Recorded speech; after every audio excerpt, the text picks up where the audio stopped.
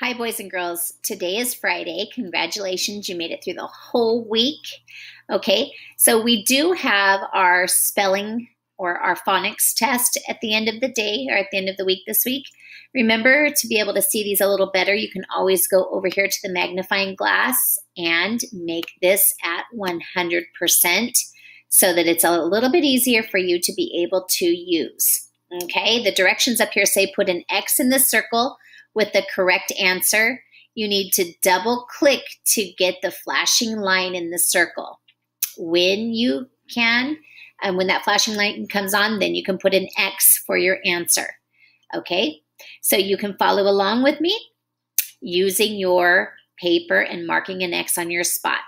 Number one, which two words have the same root word? A, addition, add, B, play, swimming, C, jungle, snake, D, football, sports. Remember, this week we worked with root words. So, which one of those has the same two, or which word has the same root words? Which two words have the same root word? Okay, number two. Which two words have the same root word? A, forgot, work. B, love, child. C, move, movers. D, moving, house. Okay, remember you check your, put a little X. If you click on there, you can put your X in there. Number three, which spelling word is spelled correctly? So take a look at those spelling words. Which one of those is spelled correctly? The word is forgotten. Number four, which of the following has the word move as the root word? So take a look at your words on number four. Which one has the word move as the root word? Number five, which two words have the same root word? A, move, work. B, forgotten, remembered. C, add, subtract. D, work, worked.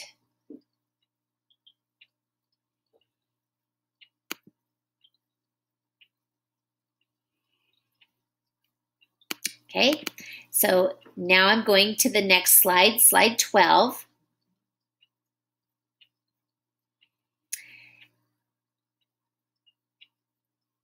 Slide 12, number 6 says, complete the sentence complete the sentence with one of those root words or one of those words, okay? Will you blank carrots to my shopping list? Which one of those words would complete that sentence? Number seven, complete the sentence. Sarah is very blank when she is tired.